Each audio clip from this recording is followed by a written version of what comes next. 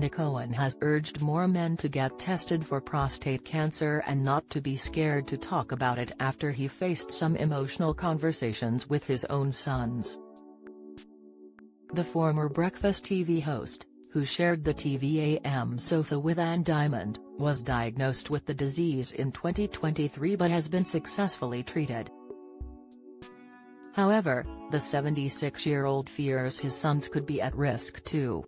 Nick, who is back working after a prostate-specific antigen test a couple of weeks ago showed his cancer has not returned, said, I've been through the middle of it. And I realize that the sooner you get seen the better. We had an MRI, there was a hint there was something going on. Then I had a biopsy. And that would tell us that it was really nasty and aggressive. And we need to do something quickly. Telling my children was difficult. I've got four children, three are our boys, two in their 40s and one in their late 30s, and it was quite emotional.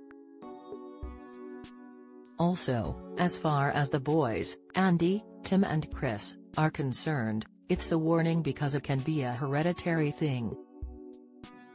I'm very keen for my boys to be extremely on the case. I'll work on them to go earlier than 50, to be honest, to have the PSA tests. And the message has to be if you have got any hint of a worry, get someone to look at it. One in eight men will get prostate cancer in their lifetime. Nick has released a new podcast on the subject with statistics from cancer care specialist Genesis Care showing 79% initially keep silent about symptoms, with 1 in 10 taking over 6 months to voice their concern, if they ever do. Nick wants more men over 50 to go for tests and to try to break the taboo. Some have written to him to say they got tested after he went public with his diagnosis last year, he said, it is embarrassing to talk about but there has got to be change, blokes need to talk about it and get tested.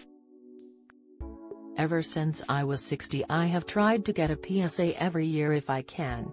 He married his second wife, reflexologist Vicky Beavers, in 2020. His children are from his first marriage to Jill Lavery, who he split from on good terms in 2009. Since 1997 he has been one of the lead presenters on BBC Midlands Today. Nick said he is not looking back and intends to keep working there two days a week for as long as he can. Nick, who had a radical prostatectomy and 25 lymph nodes removed, said, I still enjoy working, I cannot imagine not doing something journalistic. I'm still an avid devourer of news.